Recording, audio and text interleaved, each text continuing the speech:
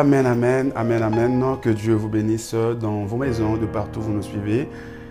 C'est le pasteur Soleil Comissa ici en France, euh, le visionnaire de la communauté Splendeur Centre chrétien, c'est situant à, à Lyon et ici à Paris, précisément à Villeneuve-la-Garenne. Si vous n'avez pas un endroit où aller prier ou vous voulez venir communier avec nous, nous sommes là à Paris, nous sommes aussi à Lyon. Vous pouvez voir l'adresse et nos numéros sur la bande défilante. Aujourd'hui, je m'aimerais parler euh, des conséquences des prisons sataniques. Donc mon thème aujourd'hui s'appelle la proie du diable ou la nourriture du diable. La proie du diable ou la nourriture du diable. C'est ça mon thème d'aujourd'hui. La nourriture du diable. Qu'est-ce que le diable mange? Qu'est-ce que les démons mangent? Qu'est-ce que les sorciers mangent spirituellement? Oui, la nourriture du diable ou la proie du diable. Suivez-nous en ces 20 minutes. Vous allez comprendre qu'est-ce que le diable mange, qu'est-ce que le démon mange, et vous comprendrez que vous n'êtes pas épargné. Alors suivez-nous. Et quand vous êtes aussi dans, dans des prisons sataniques, et quelles, en sont les conséquences? Suivez-nous en ces 20 minutes et je crois que Dieu vous bénira. Euh, vous serez touché, béni. Votre vie sortira de cette prison et vous allez échapper à la mort. Et vous, allez comprendre beaucoup de choses. Nous sommes dans le livre de Genèse, chapitre 3. Je veux lire euh, deux versets. Genèse, chapitre 3. Genèse, chapitre 3, le verset 14 et le verset 19. Genèse, chapitre 3, le verset 14 et le verset 19. Pour comprendre c'est quoi, quoi la proie du diable, c'est quoi la nourriture du diable, suivez bien ma lecture. Je suis dans Genèse chapitre 3 et le verset 14. La Bible dit ceci. L'Éternel Dieu dit au serpent, puisque tu as fait cela, tu seras maudit entre tous les bétails et entre tous les animaux du champ. Tu marcheras sur ton ventre et tu mangeras de la poussière tous les jours de ta vie. Donc Dieu dit au serpent, Dieu maudit les serpents, et Dieu dit au serpent que tu mangeras de la poussière tous les jours de ta vie. La nourriture du diable, c'est la poussière. La proie du serpent, la proie du serpent ou la nourriture du serpent, c'est la poussière. Est-ce que vous avez lu, vous avez compris avec moi, bien-aimé, Genèse chapitre 3, le verset 14, Dieu maudit le serpent et lui, lui dit, tu marcheras sur ton ventre et tu mangeras de la poussière tous les jours de ta vie. Toi, serpent, tu mangeras de la poussière. Donc la nourriture du serpent, c'est la poussière. La nourriture du serpent, c'est la poussière. Lisez encore avec moi toujours Genèse chapitre 3 et le verset 19. Genèse chapitre 3 et le verset 19, la Bible dit, là maintenant c'est Dieu qui va maudire l'homme après qu'il ait maudit le serpent. Dieu maintenant va maudire l'homme. Écoutez, c'est à la sueur de ton visage que tu mangeras du pain jusqu'à ce que tu retournes, dans la terre d'où tu as été pris. Car tu es poussière et tu retourneras dans la poussière. Je ne sais pas si vous avez compris avec moi. Au, chapitre 14, Dieu maudissait les serpents. Il lui disait que tu mangeras de la poussière tous les jours de ta vie. Et ici, Dieu vient maudire l'homme. Dieu dit à l'homme que oui, tu es poussière et tu retourneras dans la poussière. Voilà, si nous pouvons faire le parallélisme, c'est le serpent qui est venu séduire l'homme. Et l'homme a obéi à la, la tentation du serpent. Alors Dieu va maudire le dé, Dieu va maudire les serpents et Dieu aussi va maudire l'homme. Alors, le serpent ici dans la Bible, c'est l'image du diable. Le serpent, c'est l'image du diable. Voilà pourquoi quand même euh, euh, Jésus a été tenté après 40 jours de jeûne on, dit qu'il y avait toujours les serpents qui les suivaient, toujours l'image du diable qui est venu tenter Jésus. Donc dans la Bible, comme vous le savez comme moi, les serpents est l'image du diable.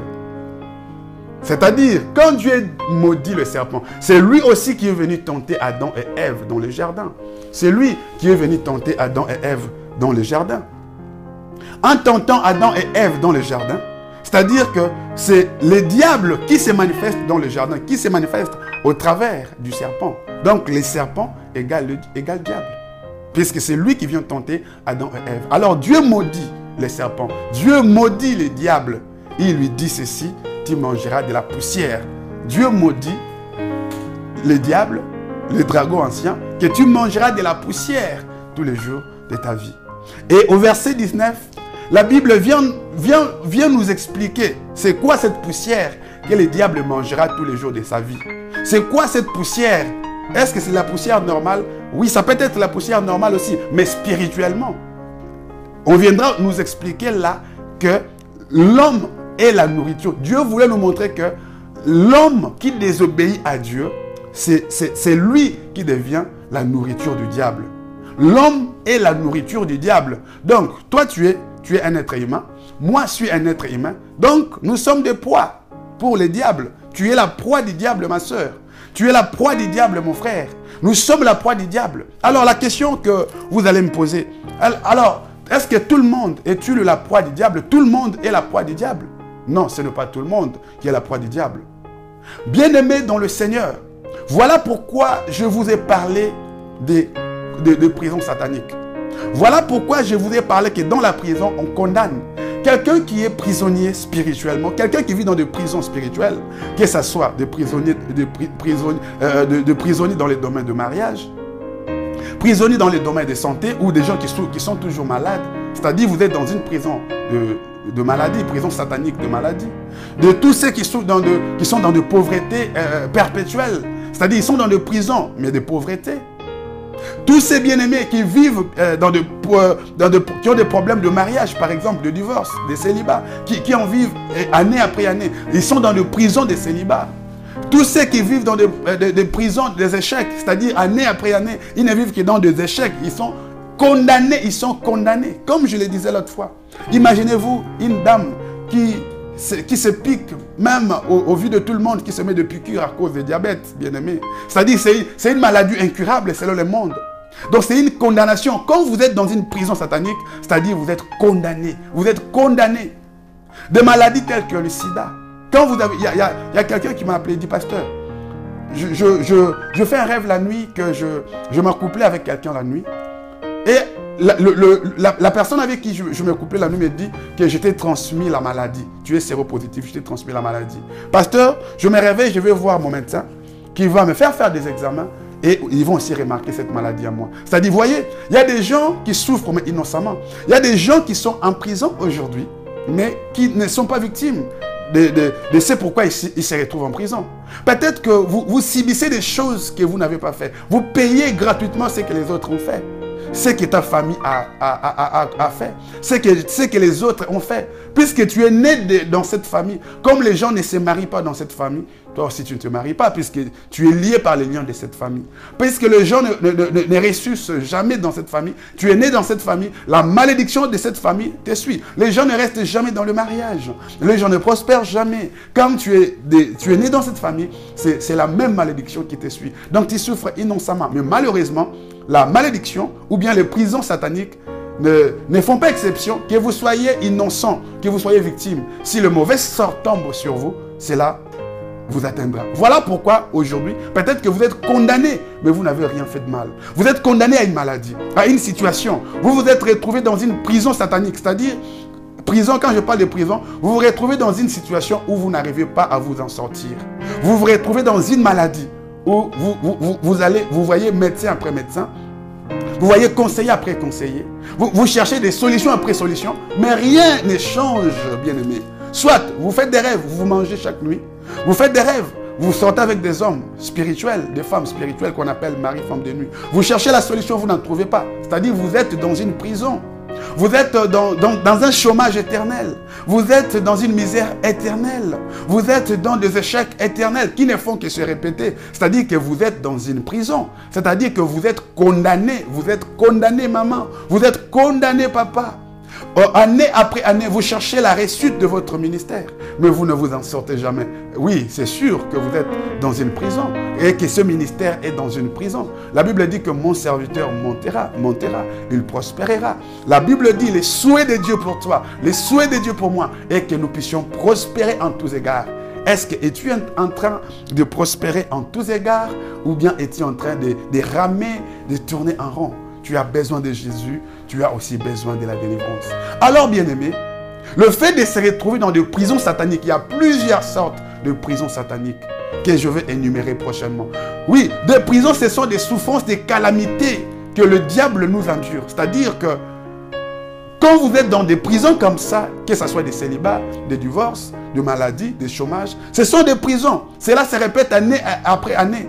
Oui, ce sont des familles peut-être qui sont dans des prisons. Et vous ne faites que vous aussi, comme vous êtes né dans cette famille, vous ne faites que répéter la malédiction, la maladie de cette famille. Tout le monde meurt, souffre de cette maladie. Ce sont des prisons. Alors, quelqu'un qui se retrouve en prison, il y a deux possibilités. Soit la personne est libérée, la personne est épargnée, ou soit la personne reste en prison et la personne est condamnée. Alors, si vous, vous êtes, ce sont de mêmes situations qui continuent de se répéter dans votre vie, dans votre famille. Ta maman est morte de cette maladie. Ta maman s'est divorcée, tu es divorcé. Ton père divorcé, toi divorcé. Les gens se marient difficilement. Les gens mettent au monde difficilement. Les gens ressuscitent difficilement. Ce sont les mêmes choses que tu répètes. C'est-à-dire que tu es aussi dans la prison, mon frère. Que tu es aussi dans la prison, ma soeur.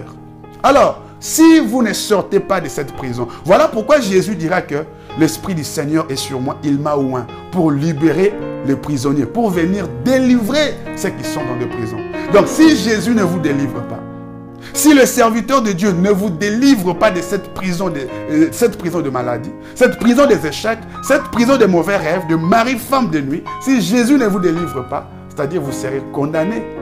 Que vous soyez coupable ou innocent, vous serez condamné. Alors, tous ceux qui sont dans des prisons sataniques, tous ceux qui sont dans des prisons sataniques, de maladies, des échecs, des célibats, des mauvais rêves, manger la nuit, tout ceci, ce n'est pas en vain que le diable vous garde en prison.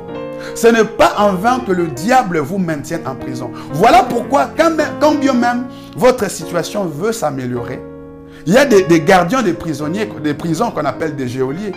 C'est-à-dire qui contrôlent, qui, maintiennent des prisonniers qui ne sortent pas. Voilà pourquoi, spirituellement, il y a aussi des géoliers, c'est-à-dire des gens qui te contrôlent pour que tu ne sortes pas de ces prisons. Voilà pourquoi, quand ta situation veut s'améliorer, tu retombes. Quand ta santé veut s'améliorer, tu rechutes. Quand tu, trouves du travail, on te chasse de ce travail. Voilà pourquoi quand ça va aller mieux, tu retournes toujours dans la même routine, dans la même situation. C'est-à-dire qu'il y a des esprits qui te contrôlent. C'est-à-dire, maman, tu es contrôlé par des esprits. Papa, tu es contrôlé par des esprits.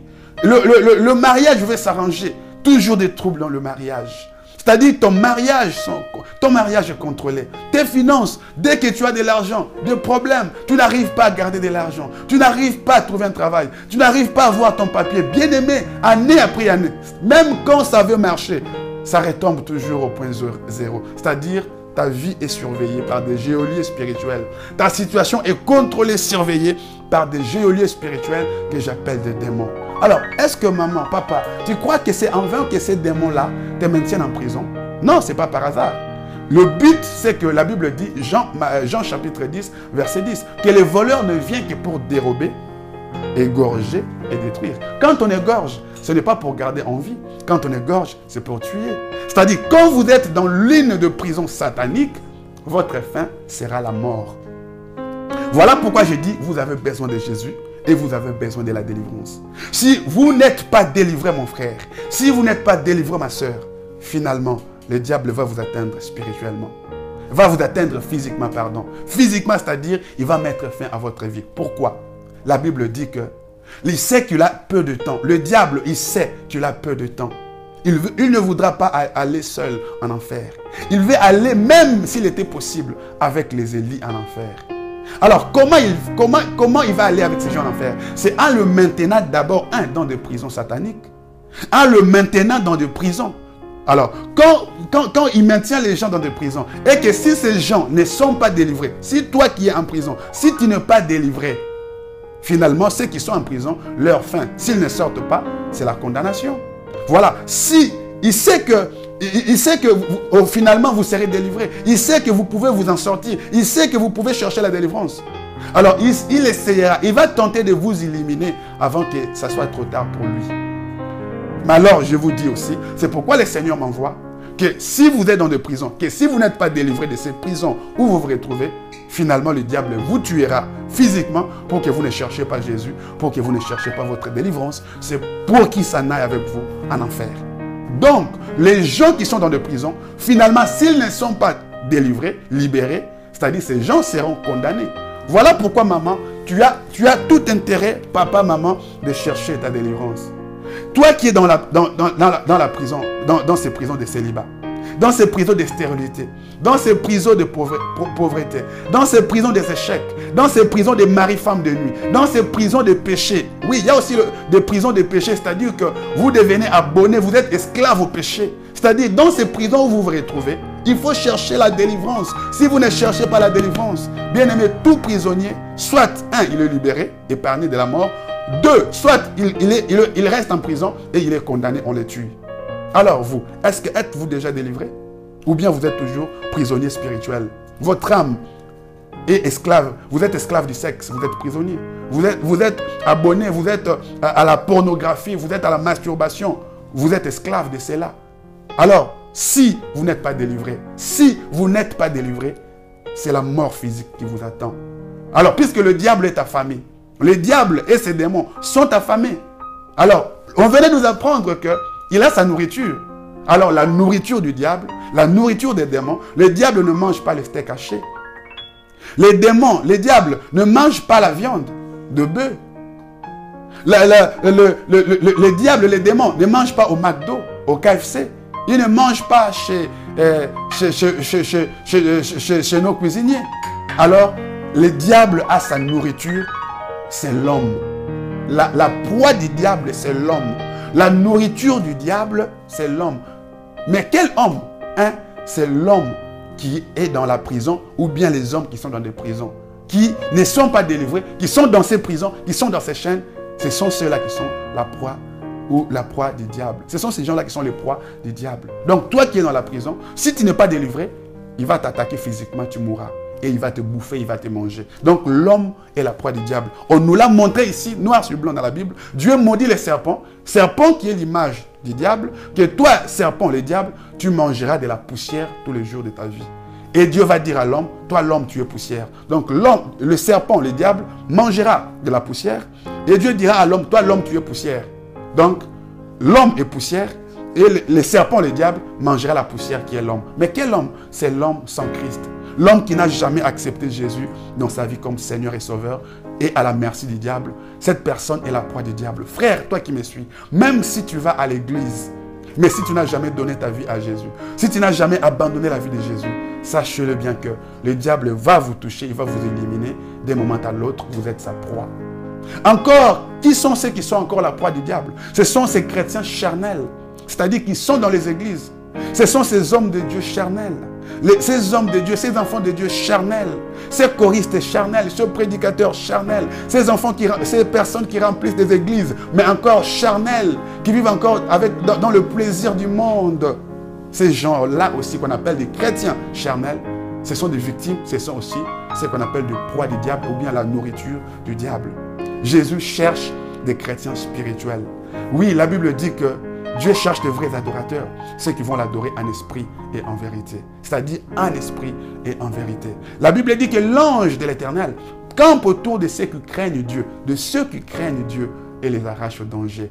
C'est-à-dire que si vous ne craignez pas Dieu, si vous ne craignez pas Dieu, bien que vous allez dans des églises, vous êtes toujours la proie du diable. L'ange de l'éternel ne, va pas vous épargner au danger, aux attaques des démons du diable quand ils vont vous attaquer, puisque vous ne craignez pas Dieu. Mais si vous craignez Dieu, il y a les anges qui vous servent, qui, qui vous gardent. Même quand les attaques viendront, les anges de Dieu vont vous garder. Est-ce que vous venez de comprendre avec moi que la nourriture du diable, c'est l'homme? Quel homme C'est l'homme sans Christ? Ou bien c'est l'homme qui a Christ, mais qui a un pied dedans, un pied dehors, qu'on appelle un chrétien charnel? Oui, la, la proie du diable, la nourriture du diable, c'est toute personne qui se retrouve dans une prison, mais qui n'est pas encore libérée. Toute personne qui se retrouve dans une prison satanique. C'est-à-dire que il y a encore la même mise de l'ennemi dans votre vie. Comment pouvez-vous dire? Vous me direz que mes pasteurs, la Bible me dit, si quelqu'un est en Christ, il est une nouvelle créature. Mais oui, maman, oui, papa, tu es une nouvelle créature. Mais comment tu continues encore à, sortir avec les hommes spirituellement? Comment tu, sortir, tu sors encore avec les femmes dans tes couches? Comment tu, continues Comment le diable a encore le pouvoir de te maintenir dans le péché? Comment le diable a encore en train de t'étrangler la nuit? Tu n'as même pas le pouvoir de, citer le nom de Jésus. Même dans tes rêves, tu les remarques.